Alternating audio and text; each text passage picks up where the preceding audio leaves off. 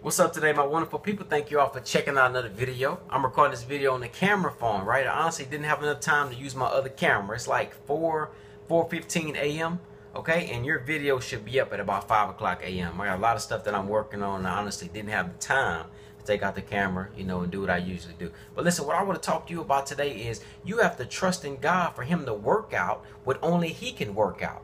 Listen, there are some things in your life that, guess what? You just can't work them out no matter how bad that the situation is no matter how much you stress about it uh, no, no matter how much money you spend on it no matter how much sleep that you lose no matter what the situation is there are some things right there are some things that only god can work out.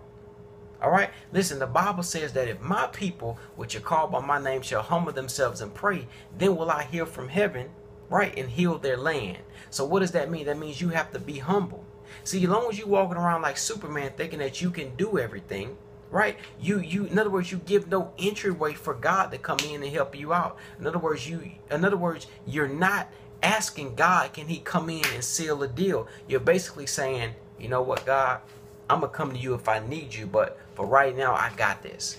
And listen, that's not what God wants. You see, a lot of people they'll think and they'll say, well, you know what? I'll give God the big problems and I'll take care of the little problems. No, that's not what God wants you. God wants all your problems. Listen, the Bible says that God is a jealous God, right? And you shall have no gods before him. So what does that mean? What is your counterfeit God? Right? I mean, what is your counterfeit God? What are you looking at? What are you thinking too highly of yourself about? In other words, what are you too caught up in that you put God on the back seat? And let's be real here for a second.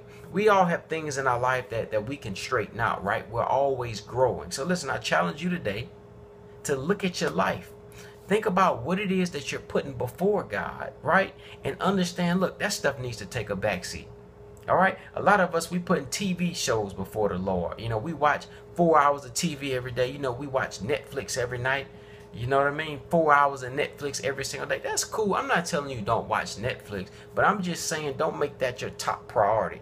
Don't make that the only thing that you're waking up yearning to do. Like, oh, I just want to watch that show. Oh, I just, I, that's cool. Like I say, watch your show, enjoy your popcorn, drink you some root beer, eat you some ice cream, whatever you want to do. That's cool. Enjoy yourself. But, but, make sure that you are living for God. Make sure that that, that is number one. That is your preeminence. Okay? I love you. Thank you for checking out another video. Listen, I just want to help you get your priorities in order for the day. I know a lot of entertainment is in this world. A lot of things is fast paced in this world. And sometimes things they can knock you off track. Okay? But listen, you hearing this video and hearing the word of God, guess what? It can get you back on track. And that may be all that you need, right? To get back doing what God wants you to do in your life, which is focusing on Him. Because listen, it is He that directs your paths. I know you may think you got everything figured out, you know, and you probably smart. I know you smart, but that's not enough. You just listen. The Bible tells us to lean not on our own understanding. What does that mean? I mean everything we learn in the world. That's cool. You're gonna use that. You're gonna be able to apply it. But guess what? God told you lean not on your own understanding. Whenever it comes to the Lord, we trust in Him because he's supernatural. He's better than our little brains. All right? Humble yourself, trust in him today. If this video helped you out, hit the share button.